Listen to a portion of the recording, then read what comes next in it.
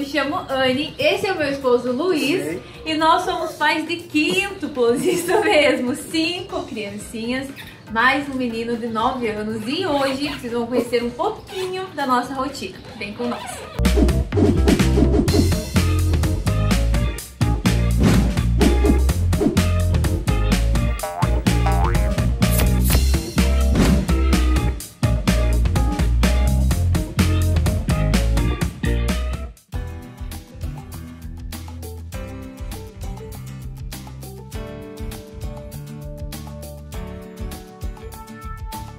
Pessoal, esse daqui é o Thiago. Oi, meu amor. Fala oi. Esse daqui é o Lu... Ah, o Thiago, o Jordan. Pessoal, esse daqui é o Jordan. Dá oi, Jordan. Oi. Esse daqui é o Luiz. Dá oi, Luiz. Esse daqui é a Antonella. Dá oi, Antonella. Esse é o Davi.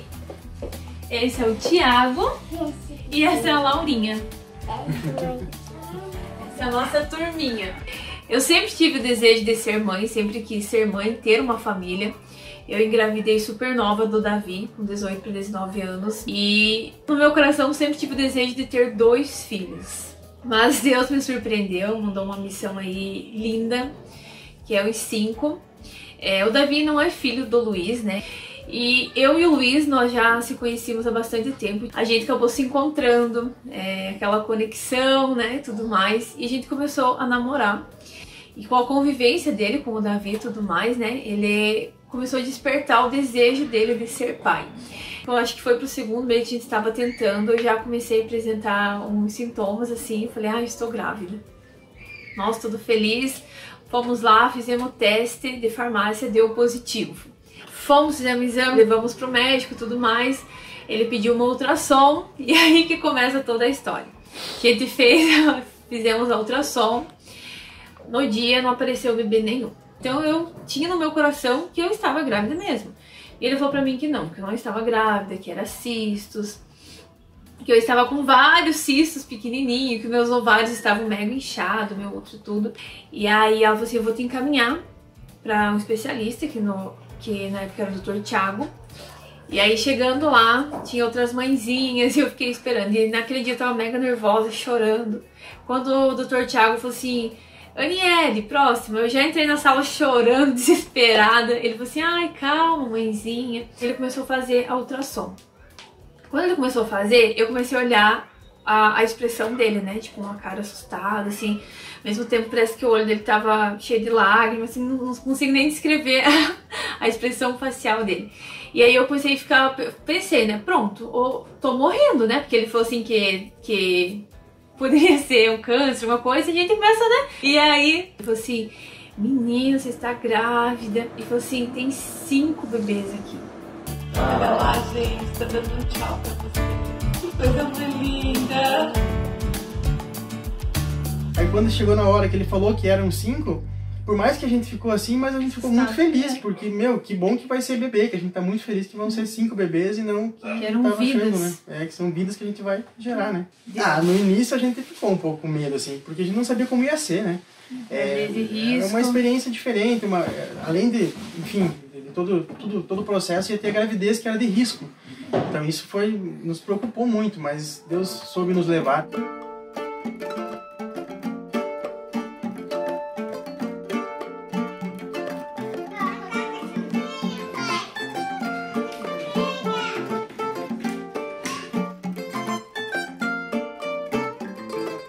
Esse quadro aqui, ele representa muito, né? Porque os nossos filhos, nós, nós se transformamos em Leões, leões, né? E eles são tudo pra nós, nós temos de tudo pra proteger eles. Aqui é a representação como se fosse o Luiz, eu. E aqui é os nossos seis filhos, né? Nossos tesouros. Cada nome tem um significado também. A Laura, por exemplo, é o nome da minha avó, que foi quem me criou, não fui criada pela minha mãe. O segundo nome é Antonella, que foi os nossos seguidores que escolheram o nome da Antonella. O Jordan é o nome de um primo meu, que era como um irmão pra mim, e eu que cuidei dele desde quando era pequeno. E, infelizmente, com 22 anos, ele acabou falecendo devido a um, um afogamento. O Thiago foi em homenagem ao Dr. Tiago, que foi um anjo que Deus colocou em nossas vidas. que foi um médico maravilhoso, super calmo, Que descobriu. que, né? que descobriu que eram cinco e que deu todo o suporte pra nós. E o Luiz, a gente colocou pra manejar o paizão, né? Luiz Henrique, que é o do Luiz. E o nome do Davi também é um nome muito especial, que é Davi Lucas, né? Que tem um significado muito lindo na Bíblia, que eu escolhi.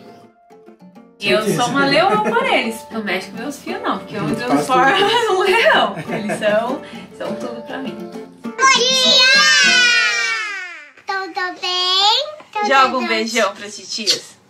E o coração lindo? Dia! Tudo bem? Amo vocês. Amo você. Tchau, tchau. Beijo.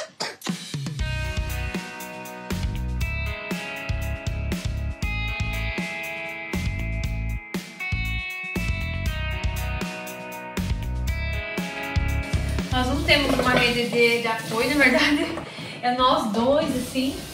É, eu, tenho uma, eu tenho uma diarista, né? Inclusive hoje ela vem com essa roupa. Mas nós vamos se virando, né, amor? A gente já, assim, é que as pessoas de fora falam, meu Deus, seis, cinco crianças, mais Davi, comida, casa, tem mais o nosso trabalho. Só que nós, é, já pra nós, já, nós vemos meio que no automático, né? Já, já estamos acostumados. Aí a gente tem uma rotina muito regrada, né, amor? Que isso nos ajuda muito. Aqui em casa, como se fosse uma creche. Tem hora pra, pra brincar, pra comer, pra fazer o soninho, pra tudo. Tem hora pra tudo, assim, sabe? Me conta aí se vocês também são fã de rotina, de planejamento, se vocês planejam a semana aí no domingo, pra deixar uma semana mais leve, os dias mais produtivos. Me conta aí nos comentários. Vamos, vem almoçar, vem, corre! Venha, venha, Jordan, vem, calma, espera. Dá, Daniela! O dó é aqui.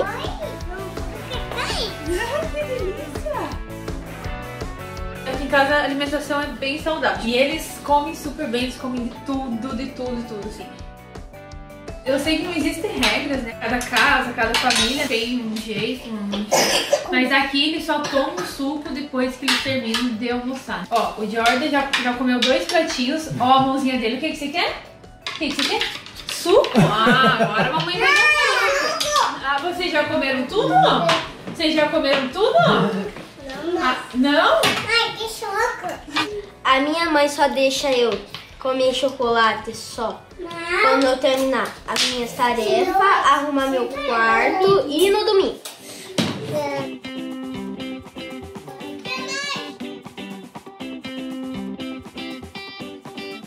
Aquele famoso não guspe pra cima que cai na testa aconteceu aqui comigo. Eu falava que não iria dar doce pras crianças antes dos dois, três anos. E na festinha deles deu uma escorregada e foi.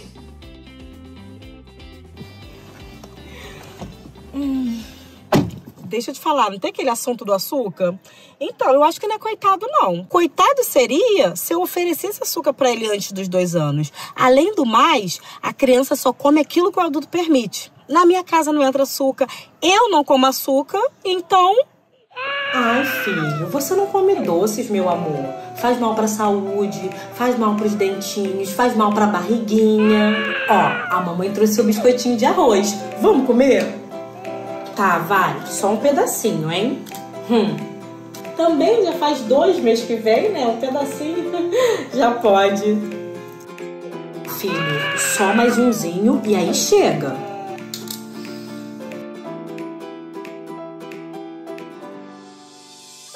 Agora sim, esse é o último, de verdade. Meu amor, você faz um favor pra mim? É, você pode ver se tem mais brigadeiro desse daqui? Aí você coloca numa sacolinha pra eu levar? É pra eu tomar café amanhã de manhã. Eu, eu que vou comer. Ele não come doce. Só um ou outro, às vezes.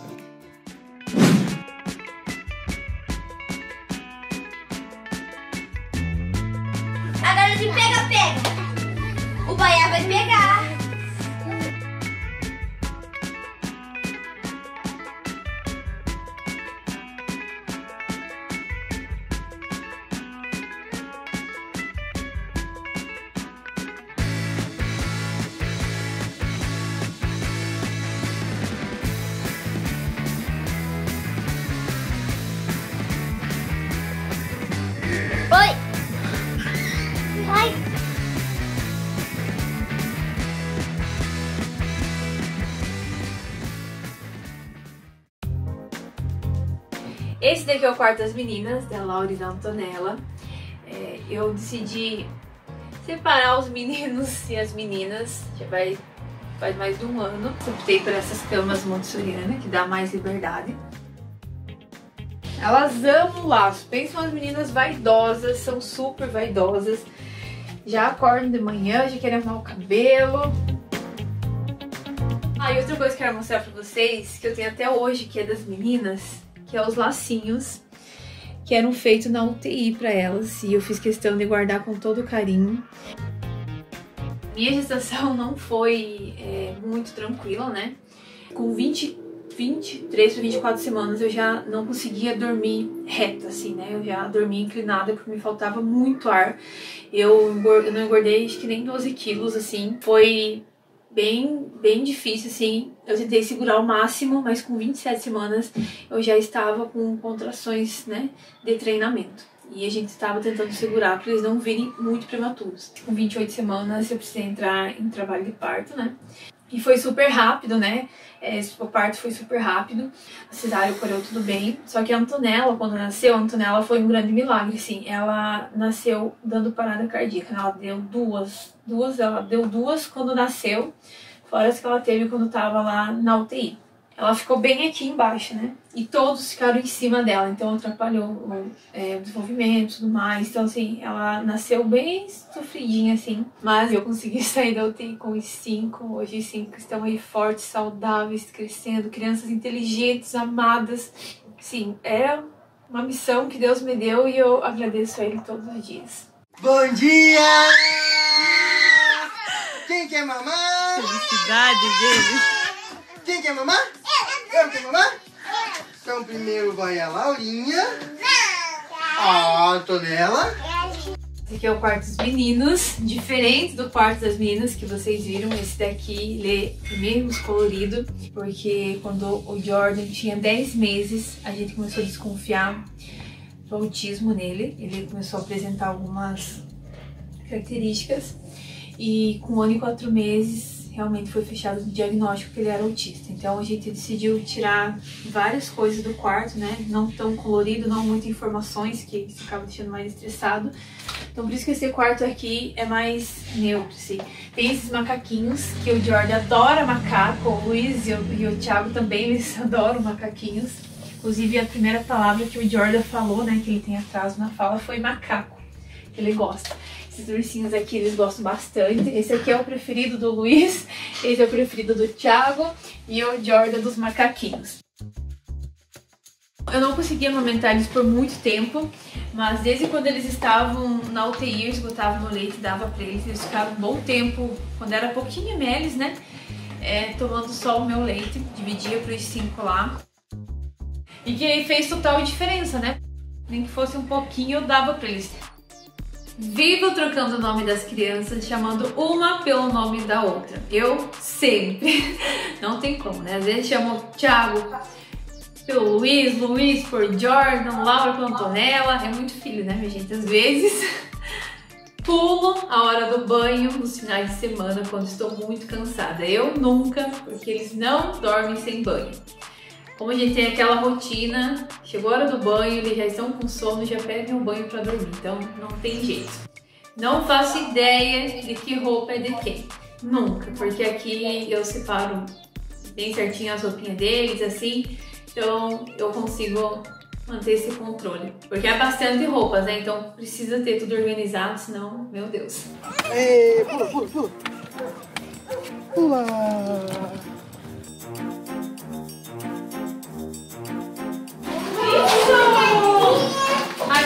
Ó, uma fruta, Laura.